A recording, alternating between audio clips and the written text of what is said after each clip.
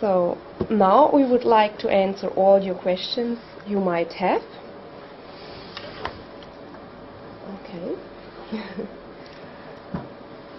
Therefore, I. So Pia, well, in the Yeah. meantime, was Mm. on the uh, email sc- uh, screen, and uh, do we have some first questions?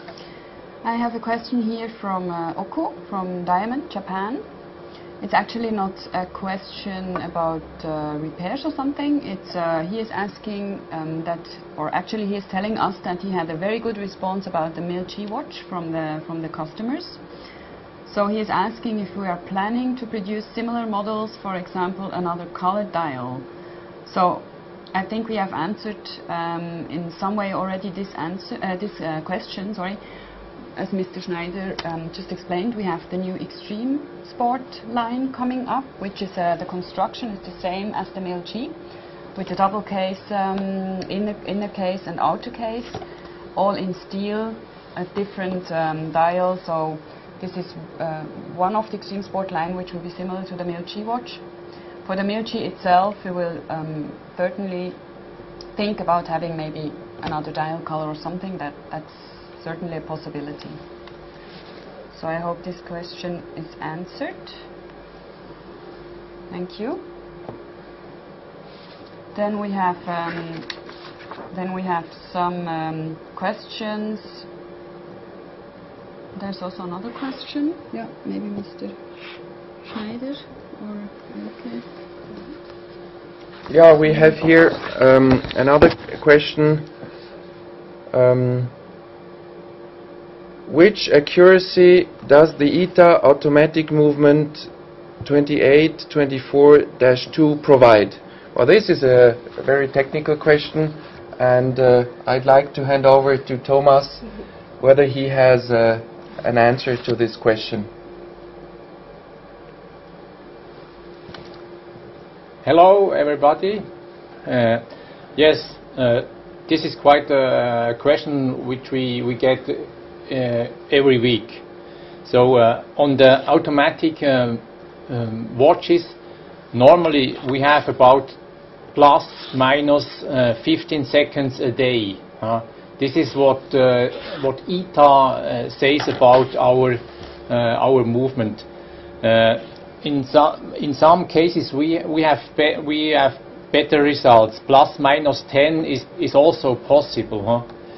But uh, you know, uh, uh, quartz movements are much better than the than the than the automatic movements. So we have this uh, this plus minus uh, 15 seconds we have on quartz movements in in a month, and on mechanical movements uh, only in one day. So you can see the difference between quartz movements and uh, and mechanical movements. Huh? Okay. So we have another question. You finished? Yes. Sorry. So we have another question from uh, Graham Green from United Kingdom. He's asking the Extreme Watch. Is it a steel outer case? So maybe Mr. Schneider would like to to to um, answer this. You have just referred Mhm. about this watch. Well, uh, correct. The um, the the uh, civil version of this uh, Mil G watch is called the Extreme Sport uh, version, and the uh, outer frame, in this case for the Extreme Sport models, is a steel um, part.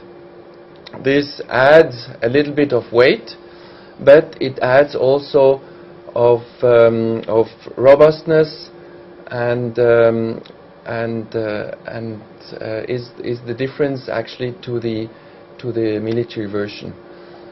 Um, of course, and you see this is one of the advantage of this kind of construction. Uh, the the models that uh, we're preparing now for for this summer are, are a combination of inner container steel. The Extreme Sport, the civil version, is then a um, s- uh, steel frame as well.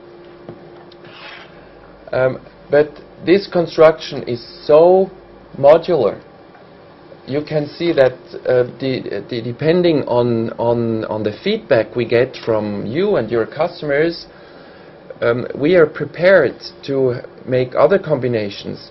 You can imagine that if you use this um, container and frame construction, you could, on the outer side, to reduce the weight, we could use a, a titanium frame, which would reduce the, the, the, the weight um, remarkably.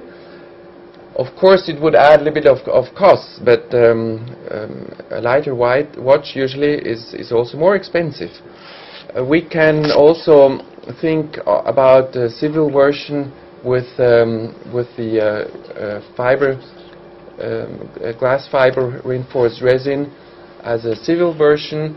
And but we're open to this. This is the the reason why we love to have feedback for you. Tell us your needs and what your customer wants